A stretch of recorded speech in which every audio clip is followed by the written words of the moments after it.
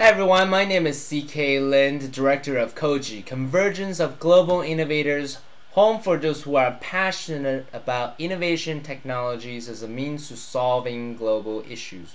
We talked about tactics to work smart, so today I thought we might talk about playing smart. Let's face it, people love to procrastinate, and contrary to popular beliefs, scientists are people too. From sports to celebrity gossip, YouTube, and Comedy Central, we have a million and one way to procrastinate. So the real question is how can you procrastinate productively? How can you move forward with your research, passing the time but not wasting it? One of the favorite ways to procrastinate productively is to read papers. If your desk is anything like mine, you know there are always always, always piles of paper and journals cluttering up your workspace.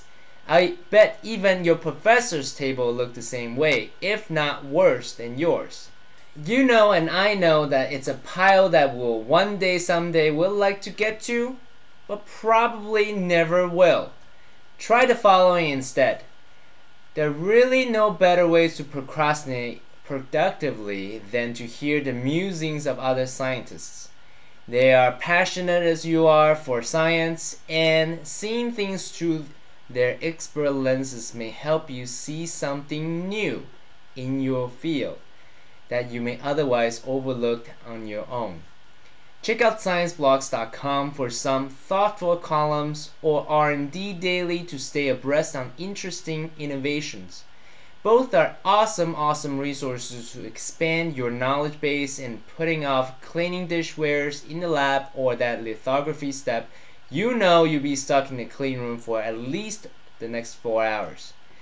People often say, art imitates life and life imitates art. In my third year, I stumbled upon one of my favorite pastimes, PhD comics. It's smart, it's funny, and surprisingly, it captures the nuances of the grad school life. Learn it early and learn it vicariously.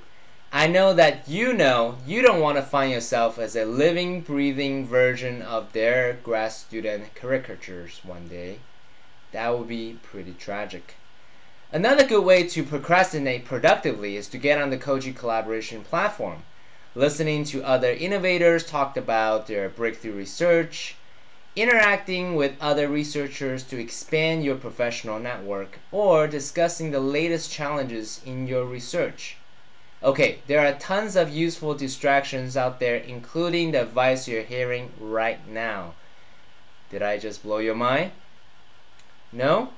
Well, at least you can feel good that you are well on the way towards procrastinating productively.